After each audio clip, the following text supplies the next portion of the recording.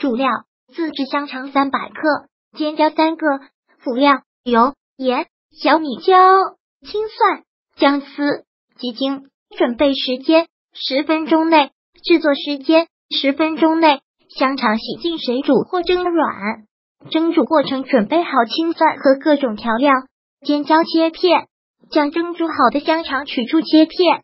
锅里放油，爆香小米椒碎和姜丝蒜片，翻炒均匀入各种调料，并入少许清水稍作慢煮大概一两分钟，收汁出锅，可以吃了。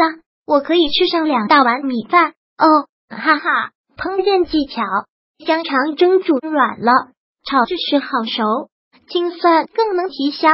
慢煮一两分钟是为了更好入味，肉也更软。如果喜欢本视频。